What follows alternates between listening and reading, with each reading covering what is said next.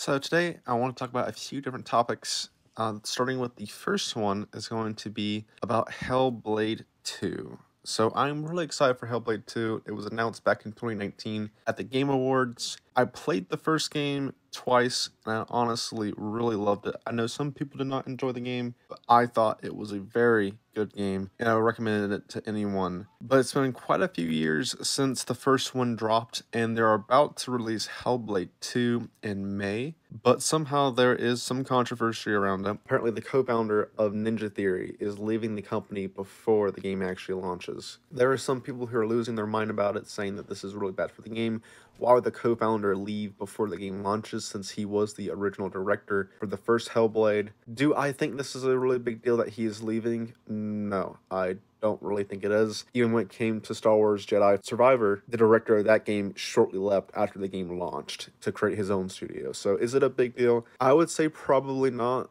I'm not quite sure why he left. He probably had some arguments with Microsoft, or he may just want to go and pursue other things. I'm not quite sure why he left. I don't think it's really going to hurt the game. The game in itself would have been into the polishing stages of fixing bugs. So is it going to affect the game creatively? I don't think so. I think the game's going to be just what they wanted it to be. Secondly, apparently the game is going to be anywhere from six to eight hours long, and I don't think that's really a bad thing at all. The company said they wanted to make shorter games, and I think it's completely fine. I think more people want shorter games to begin with. I don't think this is going to be a very big deal. I think the first Hellblade was very well paced, so I don't think this is going to be a problem in the second game at all. As long as the pacing's good and you're constantly doing something, I think that's overall a benefit to the game is having a more structured pace. The next bit of controversy is that the game is going to be at 30 FPS compared to 60. I don't really think this is a really big deal. I think people are blowing it out of proportion. 30 FPS is just fine. 60 is of course preferable, and I think all games should have a 60 FPS option. But for Hellblade, I think it's just going to be fine. I don't think it's going to prevent you from enjoying the game at all. But this has started a lot of console wars online. People are mad about it. I think once you get the game in your hands and you're playing it, I think you're going to forget about it in the first 10 to 15 minutes. There's also people complaining that the combat is only 1v1s, and again, I don't quite see what the problem is because in the first Hellblade game,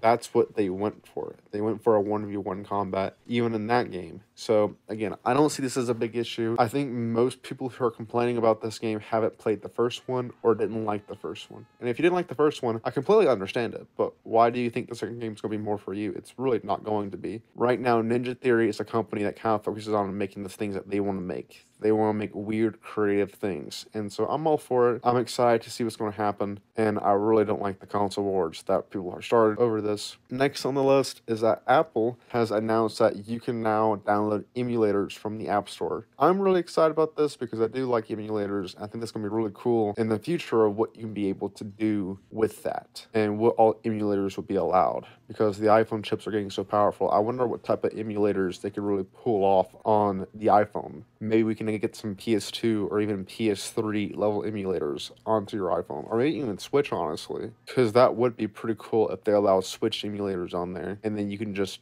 play Switch games on your actual iPhone. That would be pretty cool. There's even some more Xbox rumors. Apparently, when it comes to Steam, Steam may actually be coming to the Xbox. This is just a few rumors that popped up saying that you can actually get Steam onto your Xbox soon and download games through it. I don't really see this happening, honestly. What I would more like to see is just Xbox OS coming to Windows where you can just build your own PC hardware and then just install the Xbox OS operating system on there because I love the Xbox OS and I think that'd be really cool to like build a PC and then just install that on there. You basically just make your own console and connect it to your TV, but it'll be your own hardware. Roku wants to start placing ads on your games when you connect it to their TV. So the way this would work is that when you would have your console and you plug it into your Roku TV through the HDMI port, it's going to scan your input. And when it sees that you're paused on the game,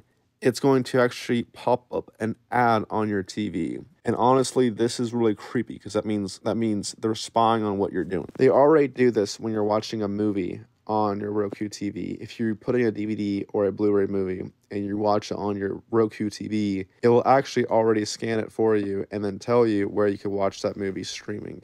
It's really creepy, and Roku is actually spying on you. If you ever use a Pi-hole or an ad blocker, you could actually watch out how many times Roku sends out a signal through your DNS, sending out logs of information to the internet. But yeah, that was just a few news stories that I saw this week that I just kind of want to talk about for a minute and just put them into a single video.